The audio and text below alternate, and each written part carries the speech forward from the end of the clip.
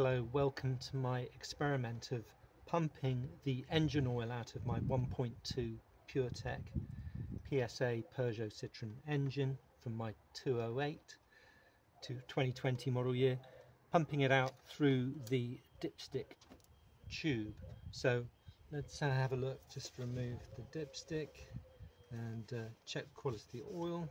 I've wiped it a few times, you can see it's a little bit dirty it's probably 3,000 miles old maybe.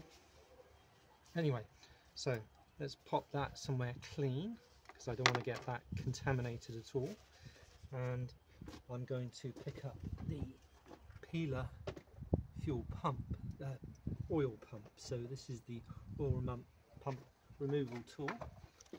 and, oh, and you take the end you now on this car it isn't a recommended way of removing the oil. On my Citroen C6 with the 3 litre V6 petrol engine it is actually the recommended way to extract the oil from your engine when you're doing an oil change.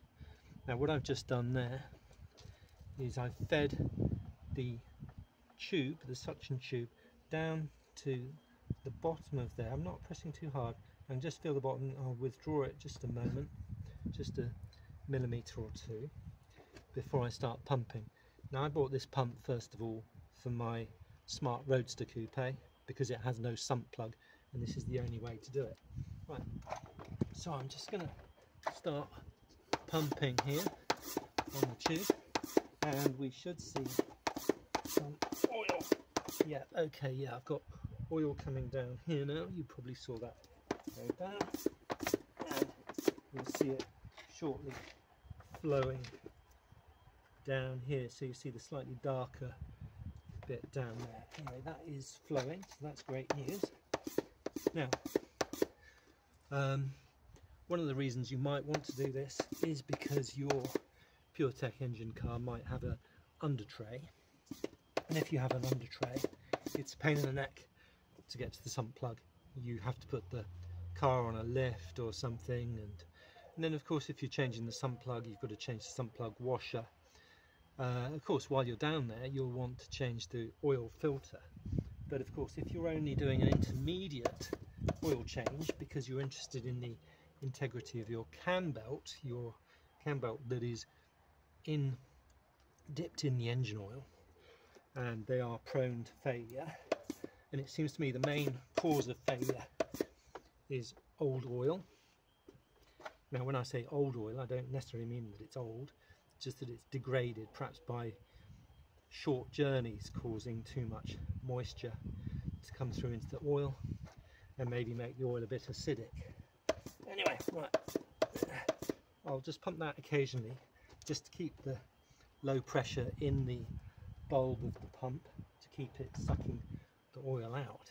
Now I don't know how much oil I'm going to get out this time and uh, what I'm going to do is that in the title of this video I'm going to say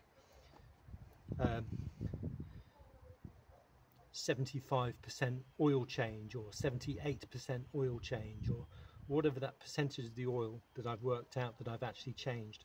I'm not going to change the oil filter so there will be a certain amount of oil left in the filter and left in the engine and I don't know how far down into the sump this goes either so really this is just a way of diluting out your old oil with new fresh oil.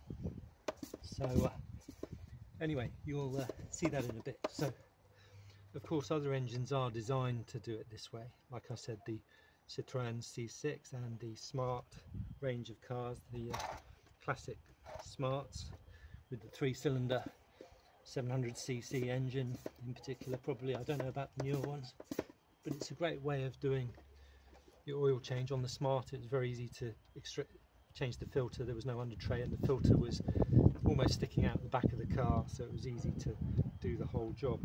But uh, anyway let's see if we can how much we can see at the bottom of there. So we're getting a little bit there. It takes a little while. I'm not hearing any oil noise. Some, once you're getting low, because you've extracted most of the oil, you'll hear kind of suction like that noises where it's sucking up air as well as the oil. And I'm not getting that yet. So uh, we'll see what happens. So the point like I say the point of this is to stop your cam belt getting ruined. So um, what I'll do at the end is I'll just experiment with the height of this suction hose in the sump in the engine down the dipstick tube just to see if if there's uh, any little bits left to be taken out. But what you don't want to do is deflect the bottom of the hose around like that.